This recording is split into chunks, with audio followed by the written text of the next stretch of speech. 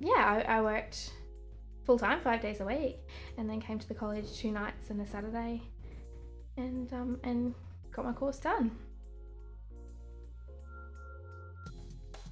I worked full time for, for a few years and then became the manager at, at Burpengary. I've been doing that for a couple of years now too. I think making people feel special and beautiful and them walking out with a smile. Yeah. You could work around the world with beauty.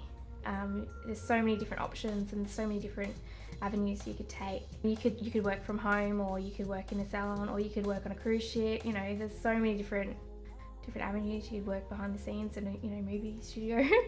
just there's just so much, so many places it could take you.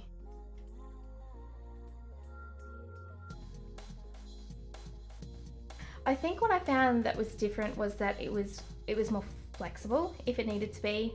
It was flexible financially too. Like you could, they had the options, and um, you know, like if if you couldn't afford it straight up, they had other options and that sort of thing. So. Well, I was kind of on top of the world because I was in in the salon then working, and uh, I was like, I know this, and people, you know, were coming to see me, and yeah, it was really good. It was really nice feeling.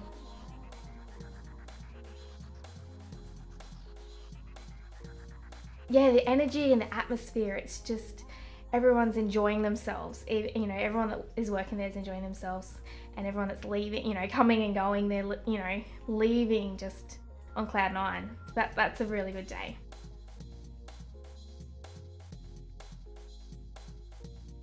They come they come in sort of a little bit drab sometimes or a little bit stressed out. You can just see it tired, and then they walk out and they just they are just on cloud nine. You know, they're happy and they're they're so grateful, and um, and that really makes your day too because it you know makes you feel like you've really helped them.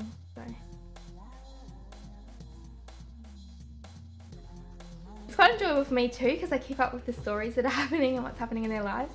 They come in all wound up and they leave just all relaxed and you know we've made it all fun for them and you know ease their troubles by listening to them and, and offering some advice if they need it.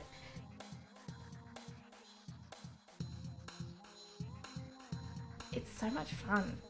And even studying is fun, like it's not a drain, it's not a drag, it's just you come in, you have fun, you learn so much and um, and then you can take it with you and and use it throughout life constantly, you know, even even on a Saturday night when all the girls getting ready, you know how to do this and how to do that, or you know, go to work and it's fun. It's fun work. It's not tedious work. It's just always fun and enjoyable. So.